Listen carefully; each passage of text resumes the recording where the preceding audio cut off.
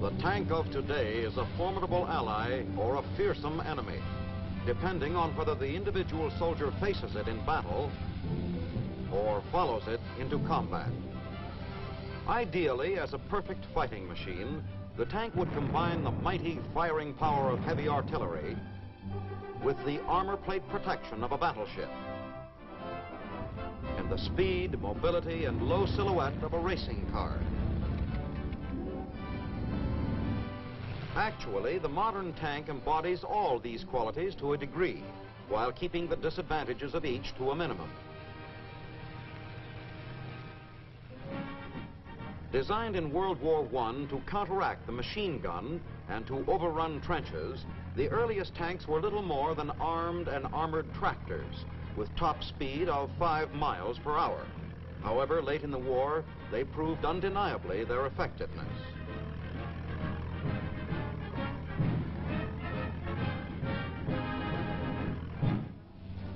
In World War II, U.S. tank men learned many valuable lessons. As a nation meeting the aggressor's challenge on two fronts, we were unable to pick our spots for battle. Our tanks were forced to fight under a wide variety of conditions of climate and terrain.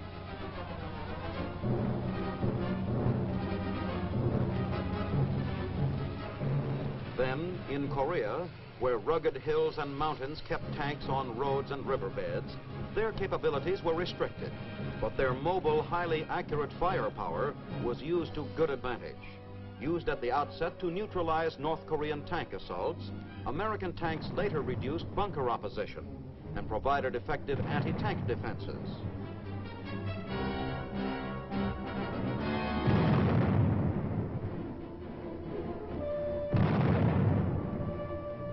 In Korea, too, American tanks met head-on and knocked out some of the tank product of the Soviet war machine. American intelligence authorities are well aware of Russia's massive tank production program and of her recent advances in the medium and heavy tank groups.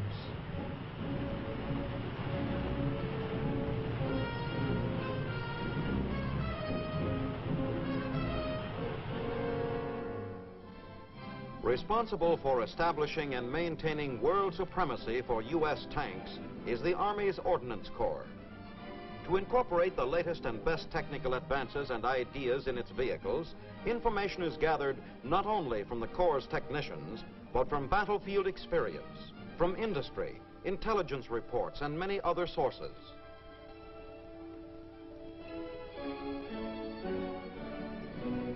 First of many stages in the birth of a tank is the drawing up of the military characteristics of the proposed vehicle, a description of what the tank will be expected to do in battle.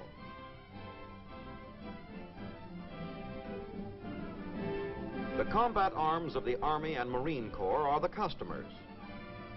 Ordnance's mission will be to deliver a tank meeting their requirements. Among the other agencies who will advise and assist are the Corps of Engineers, the Canadian Army, General Staff, the Signal Corps, the Marine Corps, and any others who may have an interest in the proposed tank. After numerous joint meetings, when every conceivable facet of the new vehicle is discussed and finally agreed upon, the Ordnance Committee minutes are written up. After review and mutual approval, the idea is on the way to reality. Project number T-48.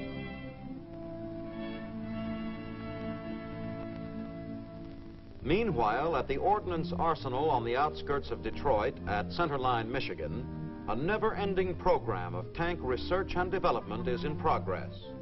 In the modern buildings of the Detroit Arsenal is housed the tank and automotive engineering center of all the armed forces of the United States.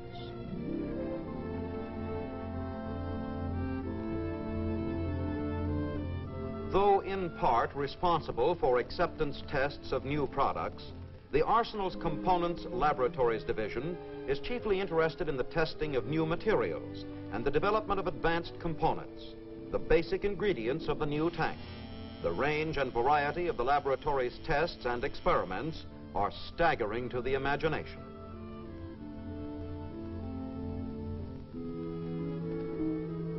Against future orders, hypothetical engineering and design problems are fed constantly into electronic brains. The answers spell out what actual future field conditions will be in vehicles, like the T-48, which are as yet unborn. To test the tank's final drive gears, a torsion machine exerts pressure up to 1 million inch pounds.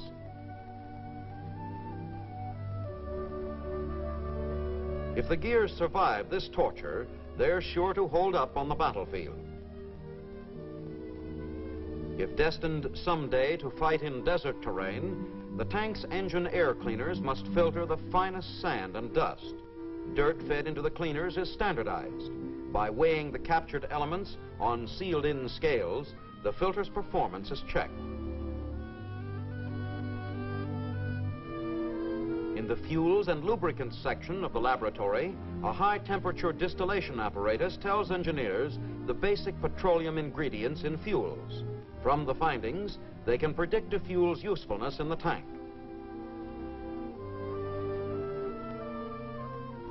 In the battery section, Every known brand and model of battery is subjected to extremes of temperature, waterproofness tests, and experiments to determine lifespan.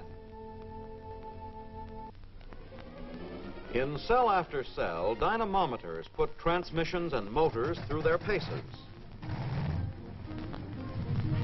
A single V12 tank engine may develop up to 1,000 horsepower. This would be enough to power six or eight medium-sized passenger cars. The vacuum fusion gas analysis apparatus reveals the strength and toughness of the metals going into the tank shell. The work of the chemistry and welding sections is of special importance because armor protection is one of the primary considerations in a tank. Careful records are kept of every electrode used in an experimental weld. Later, high-velocity shells are fired at the weld itself.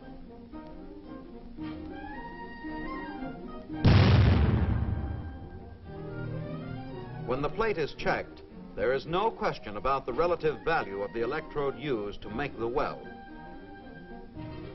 Just how much stress or strain a key tank part can stand before failure is determined by the tensile machine.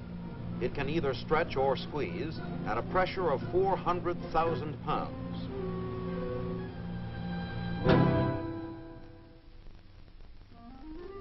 Less weighty but equally important to the tank driver perhaps is the Wyzenbeek abrasion machine, which tests in advance the wear and tear he will give his leather seat cover. In the aging room, artificial sunlight made up of infrared and ultraviolet rays is showered on specimen materials by the Atlas Twin Arc Weatherometer.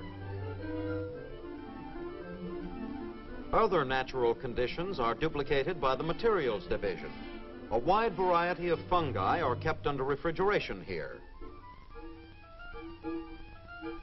When allowed to grow, these microorganisms attack sample cable and wires, showing just how well they can be expected to hold up in certain tropical areas of the world.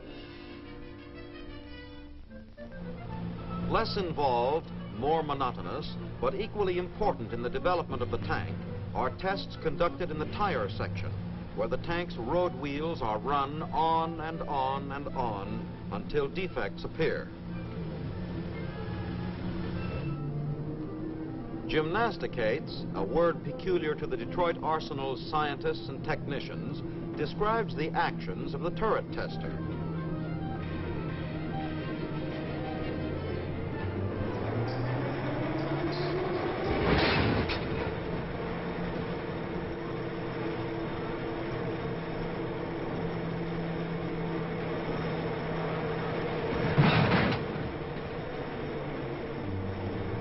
Experimental turret holds up after such gyrations, shakings, poundings, bouncings, and thumpings, it is labeled qualified for action in the field. Whatever the findings of such experiments, they are recorded in the special signs and esoteric language of the scientist.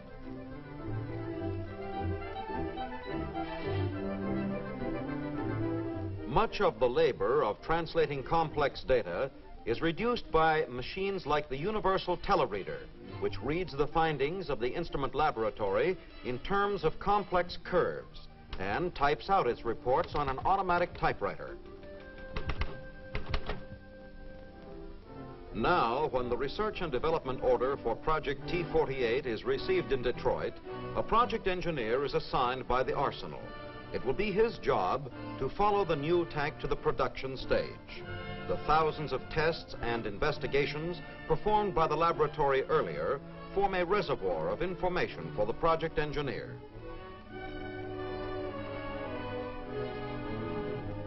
Skilled engineers of long and varied experience in the tank automotive field now compose a drawing in which are portrayed the tank characteristics first envisioned by Continental Army Command and other members of the Joint Committee.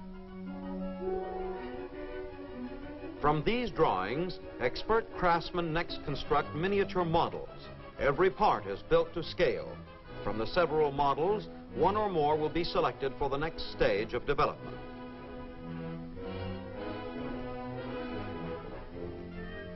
A 1 16th scale model of the proposed tank, T-48, offers a three-dimensional check on the layout and installation of parts. Any unforeseen problems are corrected in the drawings at this stage. If Continental Army Command approves of the design and physical characteristics, orders are given for the engineering prototype. The pilot model for Project T-48 is a hand-tailored original. At this stage, the labors of the laboratory come into full view. New components are fitted into the whole like pieces in a jigsaw puzzle. When the finishing touches are put on prototype T-48, the new model will be ready for testing, as a whole, for the first time.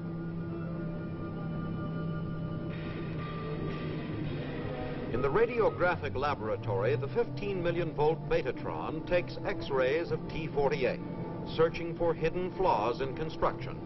Such tests check the hopes and expectations of the designers. The X-ray photos reveal weaknesses in the tank's parts just as signs of disease or broken bones are uncovered in the human body. Later, pilot model T-48 is subjected to extreme cold in the low temperature laboratory. The laboratory is divided into two parts, chill and freezer rooms. When the tank and its four-man crew have been gradually cooled off, they move into the freezer chamber. There, at 65 degrees below zero, performance and reliability of parts will be determined.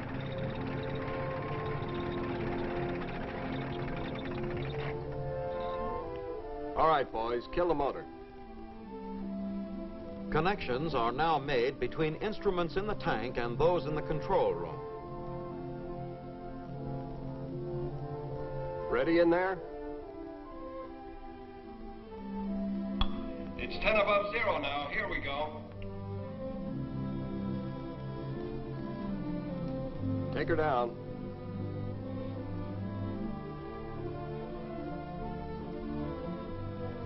Nine above.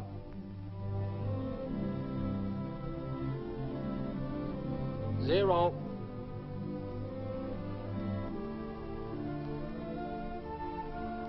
Fifty below zero. You lads better get aboard.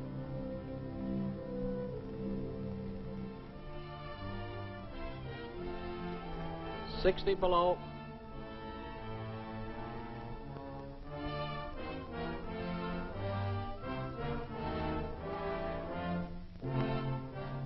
Let me know when it levels off. Sixty-five below and steady. Okay, let's see if this baby's got the stuff. Turn it over.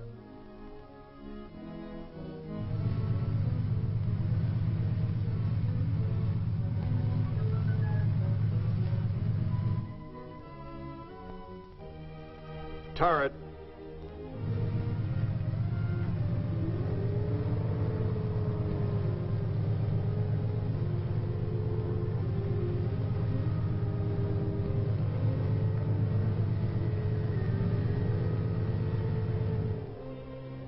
Reverse.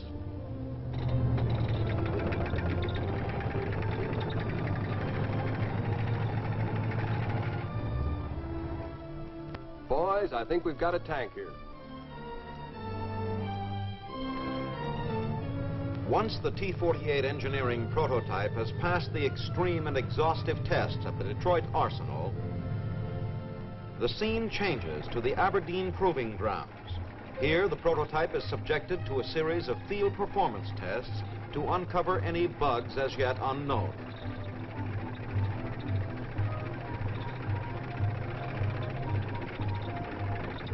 The miles of grueling test track is the most strenuous obstacle course for vehicles ever devised.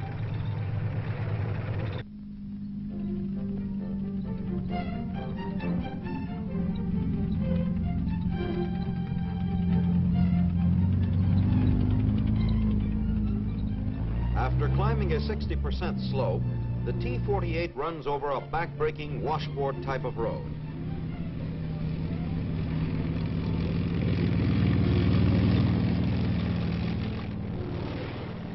Then, for good measure, it is sent splashing into an enormous bathtub to proof its water repellency.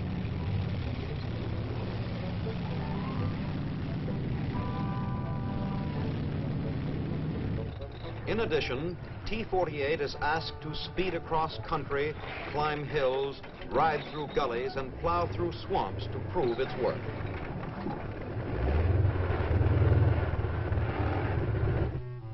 Every step of the way, a performance log is kept.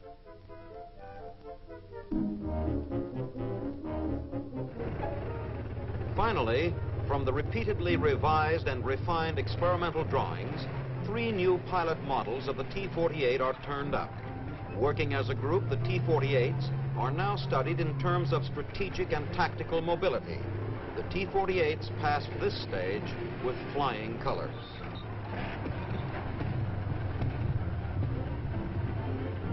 At last, the T-48 is approved for production.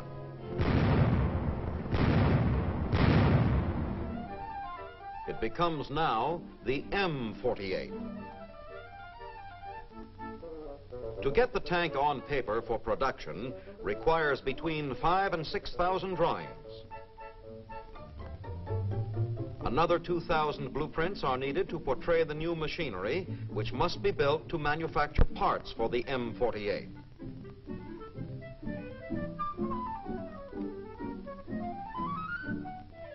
Once the tooling has been accomplished and special machine requirements have been fulfilled, production rolls in the traditional and typically American manner, assembly line mass production.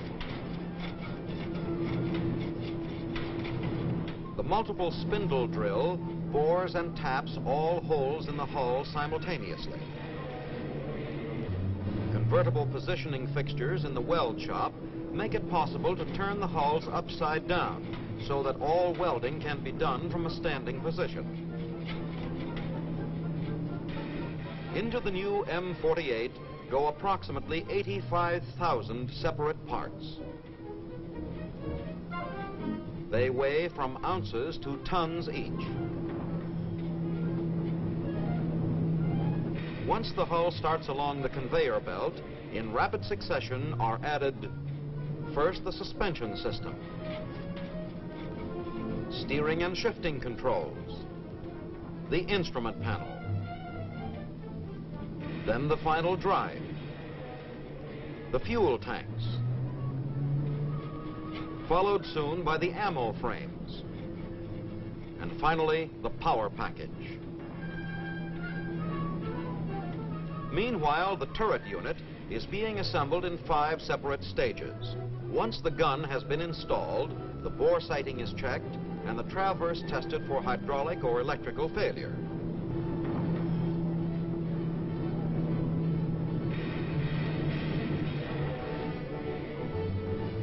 The turret is now moved to Station 8, where it is joined to its hull.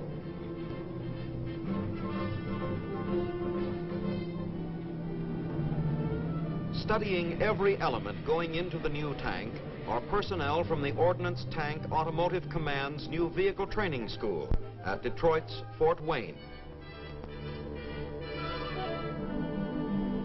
It is the mission of this school to train key personnel and instructors in the service of new vehicles, in this case, the M48.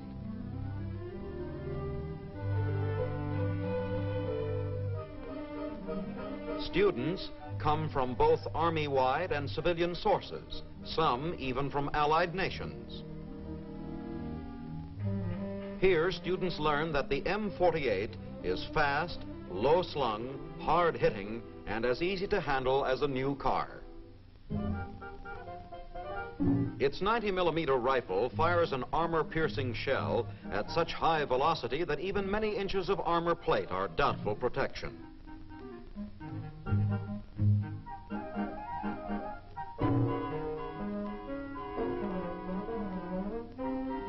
Precision sights combining optical instruments with power controls permit the crew to fire the vital first shot in a tank duel. Sighting is rapid and deadly accurate. The gunner can get on target in a matter of seconds.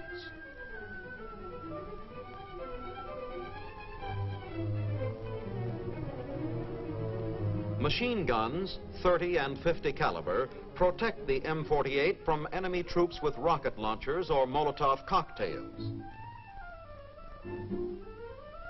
At nearby Dearborn is the school's field training and maintenance area. Demonstrations show that the tank's sloping sides on both hull and turret will deflect many direct hits.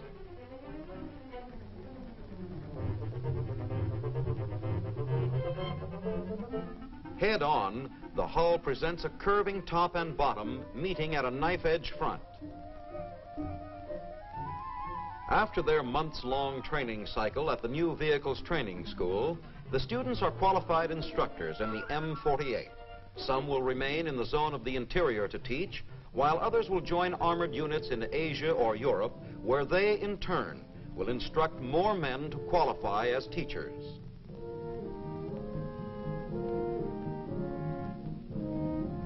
Their primary task will be to teach the men who drive and service the current medium tank model, the M46, in new handling and maintenance procedures.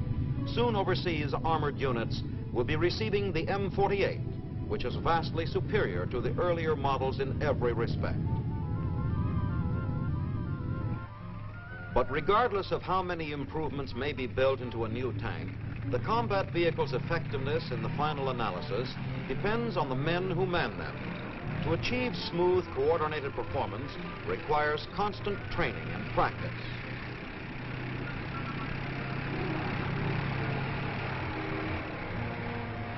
In a very real sense, the tank is the heart of the Army's armored forces.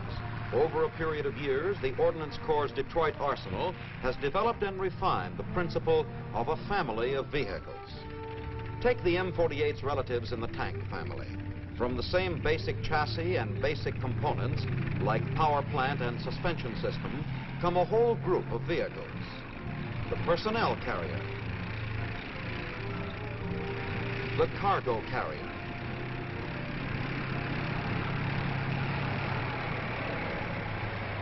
self-propelled artillery, anti-aircraft, utility, and recovery vehicles. Actually, the birth of a tank is a multiple birth. From conception to delivery, it may take from three to six years.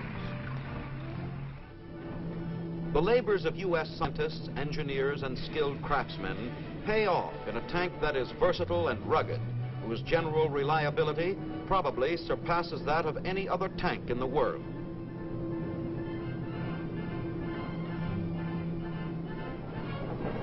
The M48, should it see service in any new conflict, will prove to be an invaluable weapon in America's defense arsenal.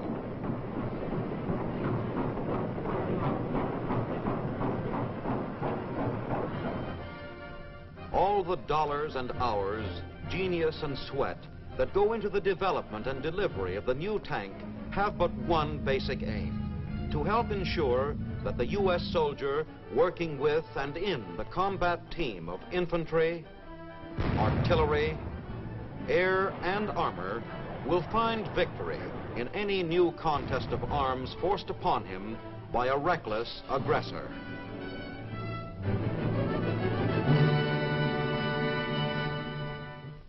Foresight seems to be the right word to describe the most valuable tool of the men who design and build America's tanks. Their permanent task is to see that our armed forces have the world's best tanks today for use in any emergency tomorrow. Now, this is Sergeant Stuart Queen inviting you to be with us again next week when we will present another look at the big picture. The Big Picture is a weekly television report to the nation on the activities of the Army at home and overseas. Produced by the Signal Corps Pictorial Center. Presented by the United States Army in cooperation with this station. You too can be an important part of the big picture. You can proudly serve with the best equipped, the best trained, the best fighting team in the world today, the United States Army.